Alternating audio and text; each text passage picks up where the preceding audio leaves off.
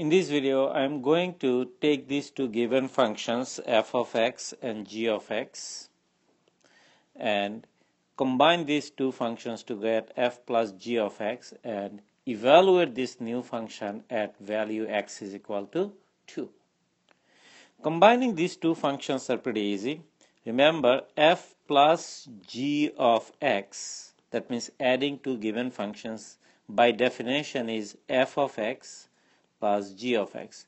What it means is that by this we define that we are to add the given function given functions together. So f of x plus g of x. Now f of x is square root of 4x square 4x square minus 1 plus g of x is 3x plus 2. That's my new function f plus g of x. Now let me emphasize one very interesting thing here. I see a lot of the times um, at the beginning, um, some students make the following mistake. What they do, they would take these two functions and write it as a simple um, uh, one square root expression. So something like this.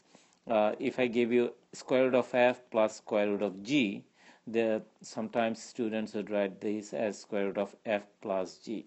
This is absolutely wrong. So please don't make that mistake.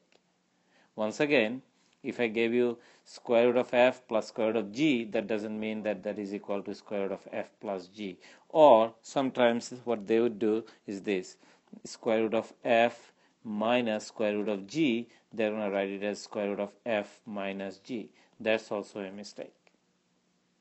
It doesn't work. For radicals, you cannot distribute these square roots. However, this does work. Keep in mind, this will work, which is square root of f times g is equal to square root of f times square root of g. That's what it is.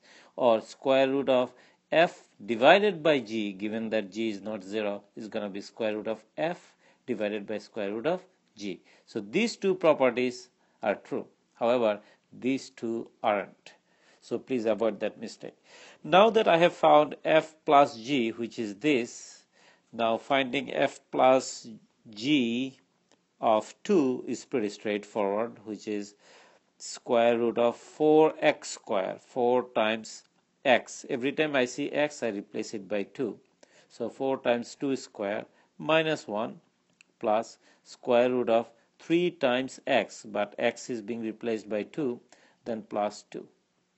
If I simplify it further, I get square root of 4 times 2 square is 4 minus 1 plus square root of 3 times 2 is 6 plus 2 is going to be square root of 16 minus 1 4 times 4 is 16 plus square root of 8 6 plus 2 is 8 but square root of 16 minus 1 is square root of 15 plus square root of then this term which is 8 now these two terms square root of 15 and square root of 8 you cannot uh, combine them because they are not like terms. And also you cannot factor or regroup square root of 15 or square root of 18 away so that you get a common radical term between the two terms.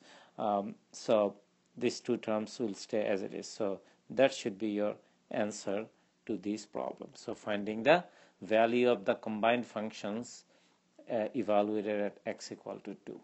I hope that this discussion was helpful. Thank you very much.